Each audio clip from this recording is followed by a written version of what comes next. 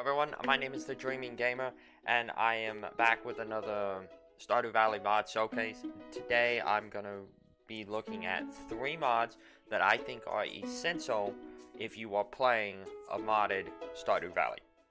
So let's get right to it. So the first mod I want to talk about is Lookup Anything by Pathoschild. Now, with all mods, as anyone who's dove into modding knows, you also have to have SMAPI. It's the Stardew Valley mod pack that allows the mods to be able to run. Now, that is also developed by Pathoschild. But what Lookup Anything is, is let's say you you are wandering around and you're wondering about this tree oh, what information can I get from the tree? With a press of F1, it pulls this up. See, it tells me that it's an oak tree, it's a tree, growth stage is fully grown, and has seed, no.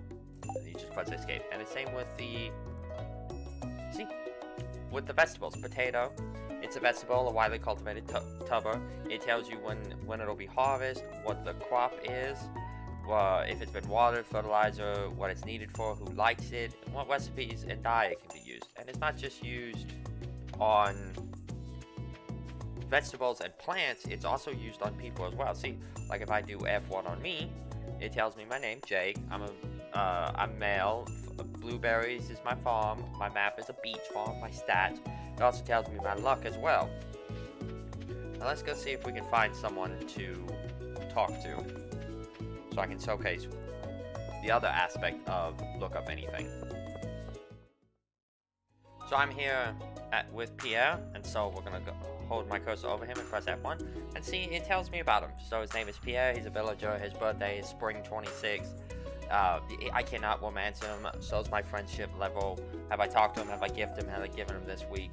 And then it tells me his gifts. This is the main reason why I use this mod, is because it, it takes out all the guessing and all the writing and all the uh, wiki looking to see what gifts they like and what gifts are neutral and what gifts they love. And as you can see, if I have the item, then it shows up as this dark, as, as a blackout letter. That means I have the item, but I don't have it with me.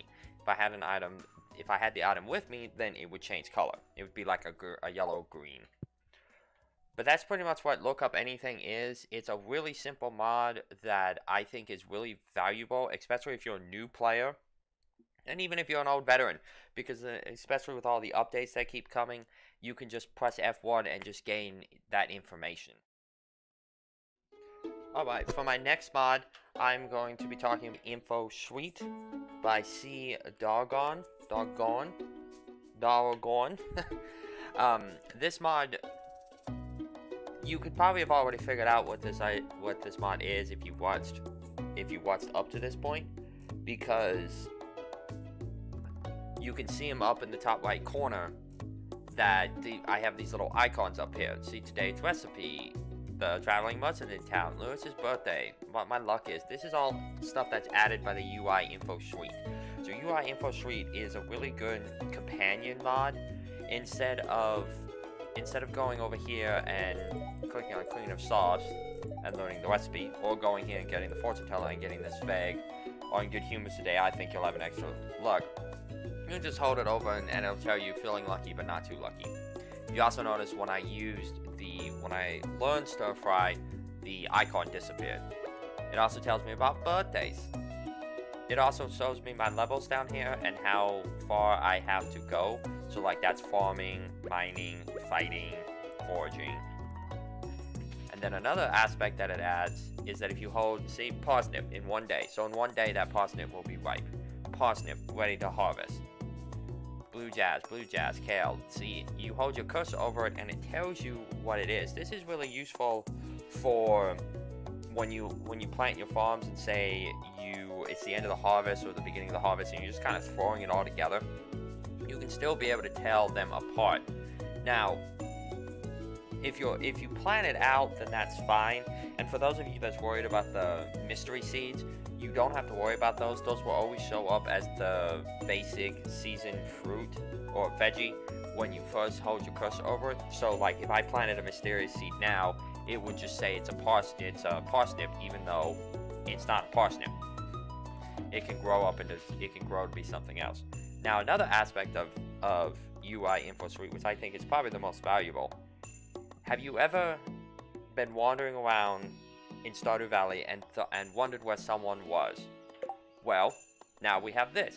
Now it shows you where the people are, and it's not like a general accurate pinpoint where they are, but it at least shows you the general idea. See, like Elliott's on the beach.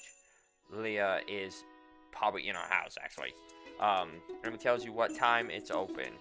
Uh, Pam is over here, JojaMart. It actually adds a whole lot to the game in the form of this UI info suite. See, just shows level up, experience bar, just adds a whole bunch of stuff to the game that just makes the just makes it a little bit easier to read and more information to, to, to digest.